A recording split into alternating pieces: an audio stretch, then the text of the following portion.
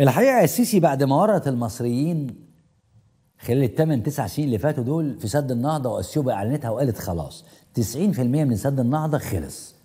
وده اللي رصدته برضو الصحف العالمية وغيرها من وسائل الإعلام.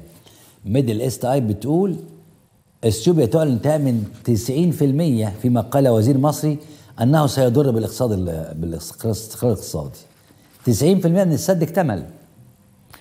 المشكلة مش بنسمع من الجانب المصري الإخوة سامح شكري غير صريخ على الفاضي وبكاء على اللبن المسكوب. المرة دي بقى مش من سامح شكري ده من وزير الري أثيوبيا تعلن اكتمال 90% من بناء السد ووزير مصري هيأثر على مليون مزارع ويدمر جزء كبير من الأراضي الزراعية.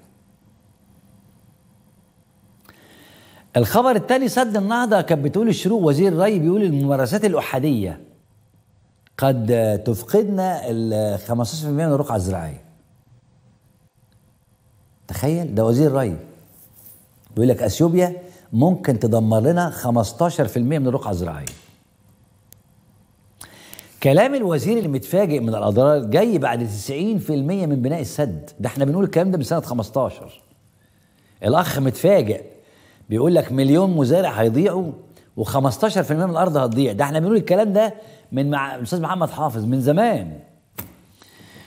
على أي حال فاتت سنة وبعدها ومفاوضات عباسية. الإمارات كانت بترعى جزء منها بالمناسبة رغم إن الإمارات شريكة في سد في البناء السد. دلوقتي الإمارات بتنسحب منها. أزمة سد النهضة مصر تخطر الإمارات بالانسحاب من مفاوضات أبو ظبي. مصر زعلت قالت لهم مش هلعب معاكم. بعد إيه؟ بعد إيه؟ على رأي عبد الحليم حافظ بعد إيه؟ أبكي عليه. بعد ما مضيت على السد ما تقوليش مواضيع قاعدين بقى عشان السد لغاية دلوقتي الأثيوبيين ماسكين الورقة دي اللي مضى عليها السيسي لحد النهارده. وطلع الرئيس المجلس التنسيقي للسد جاب الخلاصة وقال لنا ليه أثيوبيا مش همها. فيديو صوت وصورة لرئيس المجلس التنسيقي لسد النهضة. اسمع. يجمعنا مع مصر والسودان وأثيوبيا بكل تأكيد. واتفاق ثلاثي. تم توقيعه في مارس من العام 2015 وكان هذا إعلان مبادئ. وكانت المبادئ تقوم على وكانت منطقية وعادلة. المبادئ المنصوص عليها بالاتفاق. طيب. trans-boundary water resources وفيما يتعلق بالحصص المياه وبالتالي تم الاتفاق مع هاتين الدولتين وإثيوبيا.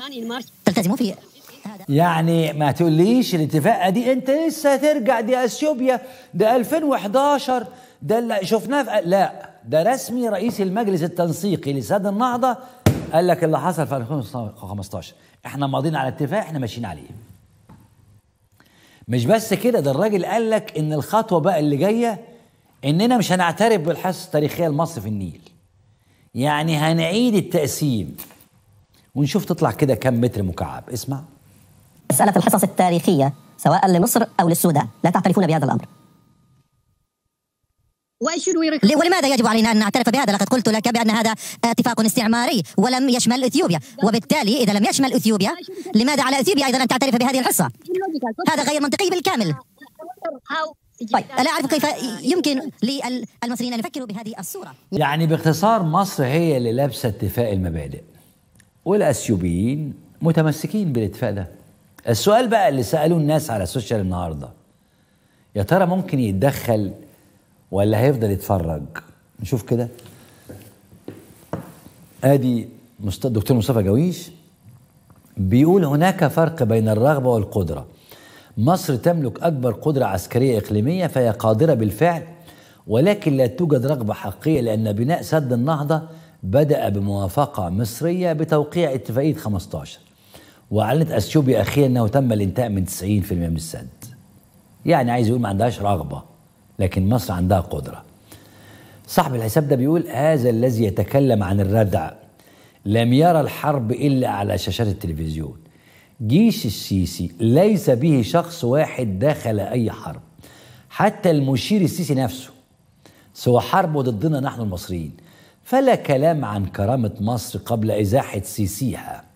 ولا كلام عن سد النهضة قبل تمزيق الاتفاقية التي وقعها سيسيها ليسقط الخونة. الراجل ده عظيم. سعد قال لك أكيد الجيش مش هيسكت. هيفتحوا منافذ لبيع الديك الرومي. آه والله صح. والله العظيم عنده حق.